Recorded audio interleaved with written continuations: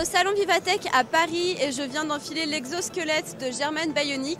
Ça va m'aider à porter des trucs qui sont particulièrement lourds alors que je suis assez petite et pas très costaud. On va le tester tout de suite.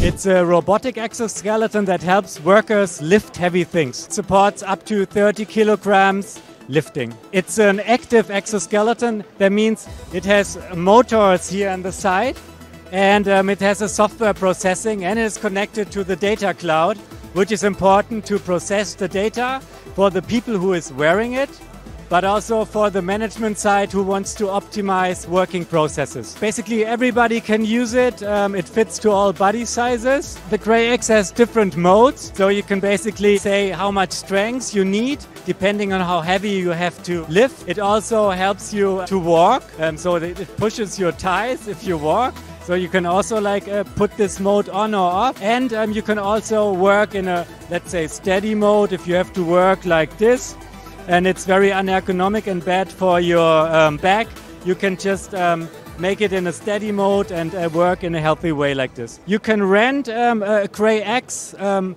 it's about uh, five to 600 euros per month, and depending on how many exoskeletons you need. Combien j'ai porté Un moment.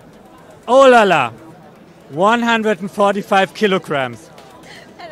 J'ai porté 145 kilos avec l'exosquelette, Bravo. ce qui est énorme. On peut voir aussi le nombre de fois où je me suis baissée, où je me suis relevée, le nombre de pas que j'ai fait. Je me suis baissée 20 fois pour soulever cette caisse, c'est vraiment beaucoup et je me suis jamais sentie aussi costaud de ma vie.